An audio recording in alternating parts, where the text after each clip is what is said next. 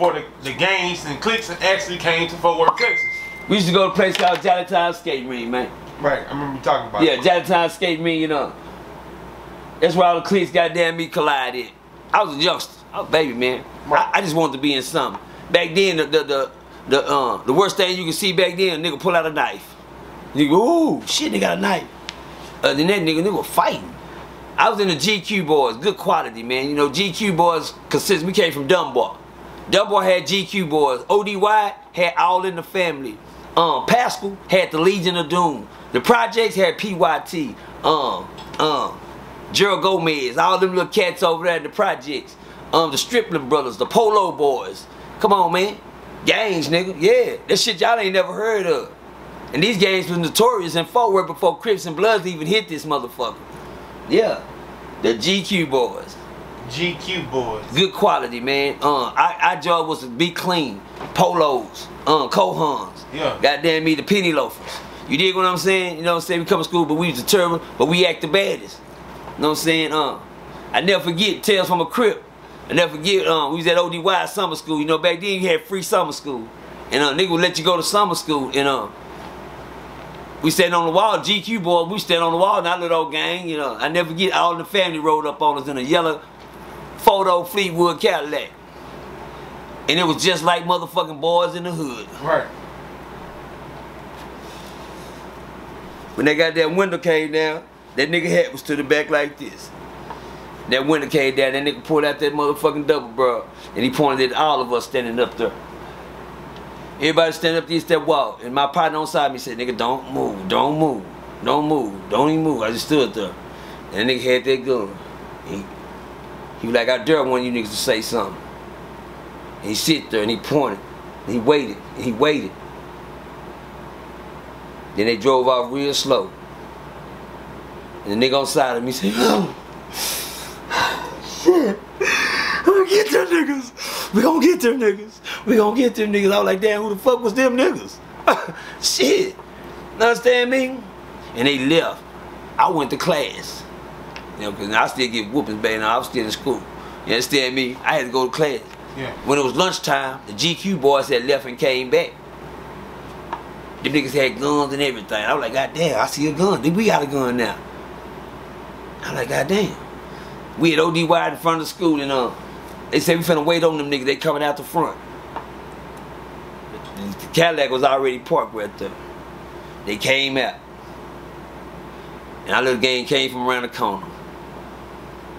And I was the dude that I was cool with was Carlos, and he leading the pack, and I was right on side of him. Felt like I was something. I'm in the gang. You heard me? It's finna go down. Yeah. First time gang bang. And them niggas came out there in front. They was standing in front of ODY. We approached them niggas. And they wasn't scary. Y'all, so y'all went from Dunbar and went up to the Yeah, see, Dunbar. Dum- no, Dunbar is what it was. Summer school was free. Right. It was free for all schools around the metroplex, but they held it at ODY. school. So yeah, one Right. school. So all schools was at one school, depending on where you went to. That's how the that's how the shit mixed up. That's how yeah, I know it. I know it. Y'all, y'all know that, that's called trouble. That's called mixing up trouble. You know, number one, hell, if they gotta go to free summer school, that means that one in school doing their job any goddamn way. Right, right. that means they wasn't acting good at school anyway. You understand me? You better go get this free summer school, goddamn me, so you can go and pass it in this grade, because you didn't do what you was supposed to do. Right. So guarantee you, the niggas that's going to summer school, they already hard heads anyway. And they from different schools. We approached them cats, man, and immediately the fight jumped off. You dig what I'm saying? And a nigga passed me the gun, the, the gauge. You understand me? And You know me, I, back then I wasn't a killer. But he passed it to me. So I had to do something with it. So I took it and I whopped it across the head with the motherfucker whop. And they were like, nigga, that, you know, they looked at me like, damn, fool, that ain't what you supposed to do. Well, that's what I'm finna do. You know what I'm saying? Shit, I know what you do when you pull the trigger. You, I know, I know all that to come after that. You dig what I'm saying? And the nigga, when that nigga gave me the gun, the dude took off running. And I chased him down with it like I was finna do something. By the time I caught up to him, I, I wasn't finna do what they thought, so I just hit him with the motherfucker. Pop! And me and him just went, I threw the bitch to the side, we just went to fight in that goddamn field across from ODY. Back then, the grass was so high you couldn't even see a nigga over there fighting. Right. Yeah, it was weeds and, and field and everything across from ODY back then. We was in that field, we just went to fighting and fighting and fighting, and it went down. Back then, Tales from a Crip, back then, they had a gang unit called Salt and Pepper. If y'all don't remember that. Gang unit? Yeah, it was a gang unit. it was a gang unit called Salt and Pepper. Really, really, they they're officers that work at our school. These two like like Starsky and Hutch. You understand me? They didn't play no game. They coming for you. You understand me? Uh. We seen them pull up. And they jump out. They had a car like they was in a North car, old school North car. You know the the four by um the um the photo um Caprice Right. throwback. You know they ain't one of them motherfuckers. You know. They jump out. Everybody run. We ran to the movie theater. No, for y'all to know where ODY is, back then they had a big old movie theater right there. Right, I heard Everybody that. took off running. And they ran towards the movie theater. By the time we got to the movie theater, the police was everywhere. I ran inside a goddamn um uh, um it was a mailbox place right there. And I ran in there and I ran in and they said, uh-uh, get out of here. I'm like, God damn. She didn't know what was going on. So when I ran out, police was coming there, I, and I hid under the car. I, I ran up under the car and I stood under the car and I watched the police just pass by me. And I jumped out, I took off running again, started walking on side of the road like I didn't know I'm not a part of them, you know what I'm saying? They, whatever they they running, I'm walking. And they, they drove by me. The next day she we all was in that same office. And I had I still had to go to school. Mama didn't know what the fuck I was doing. Right. Mama didn't know what was going on. I went back to school and uh walked in the office, Salt and Pepper was in there. First time I seen him. But to make a long story short, that's how long gangs been around, man. That was in 94, 95. I mean, that was in 85. 85. Talk to your shit person. That was in 85. Yeah. yeah. Damn. Gangs done hit forward. Crips and Bloods done hit this bitch to 88, 89. That was 10 years later. Hear? Well, 88, 89. you know what I'm saying? That was in 80. That was in 83, man. 84, 85. Yeah, it was in 85. I was in the ninth grade, bro. You understand me? Trying to get to the 10th grade. You dig what I'm saying? 14 years old. I was already on it. You understand me? Um. So, for a lot of niggas to think gang banging just hit Texas around 88, 80, nah, it's been here. It's been here. It's been here way before that. It's been a gang infested city. You dig what I'm saying? Um, when Crips and Bloods came, all those gangs, there was GQ boys, Stripling brothers, Polo boys. Right. Um,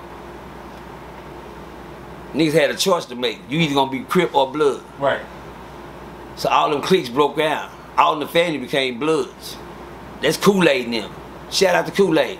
He been out here, y'all. Before that shit. That's the shout out to him, man. First real gangster blood I ever knew in Fort Worth was Kool-Aid. Barlos, his brother Barlos. The only only blood niggas that would fall up into the nighty night flamed up, nigga. In a room full of goddamn Crips, nigga. Or take they lick some nights and be back to, and be back to party the next night. You dig what I'm saying? With some dangerous Crips. With some dangerous Crips. Nigga, them Crips at the nighty night, y'all, for y'all don't know what the nighty night was. Nighty night was a little club off of Vaughn Street back, was off of um, in Poly over the back off in the days. And that's where everybody went, was to the nighty night. It was more killings and murders at the nighty night than anything. I ain't seen nigga right in front of me go outside the door, outside the club, get his brains blew on the motherfucking wall, and was just right in front of me. And make the crowd bag up. What happened? The nigga that was just in front of you got, you just killed that nigga. Cuz that was just right here? Yeah, that's him that just got shot. God damn. Went out there, his shit was on the wall. You understand me? It was dangerous. And Kool-Aid and Barlow's hung in that motherfucker regular. Until you know they got their respect. And they showed up, they showed up with brothers at first, then start showing up with partners. Right. You dig what I'm saying? Yeah. And everybody knew it could get gangster. But I want to talk about, can I get one tale from the crip Right. off the record? Right. The ballroom. The most game bangingest place that you could ever find that, that in South Central. Right. Fuck, was a place, goddamn me, that um wasn't no neutral ground. Nigga, you on the south side, the west side coming, the south side coming, the east side coming. Who ain't coming? Right. Young niggas. They don't got them clubs no more. They had them right now. It'll be it'll be a rap. They had them clubs back then because it was a rap at them motherfuckers. You understand me? DJ Quik came to perform. Get your bitch ass from down here. Fuck you mean? You think I'm get on this stage and throw up no flag, DJ Quik? Yeah, that's how bad, that's how dangerous it was down here in the murder. You understand me? You, you don't get to, yeah, you get killed down here. Any kind of gang banging signs of what, if you get up there, you better be, you better be ready. Shout out to the OBGs, man. No, shout out to the LODGs, man. You understand me? Uh, no, no, that can perform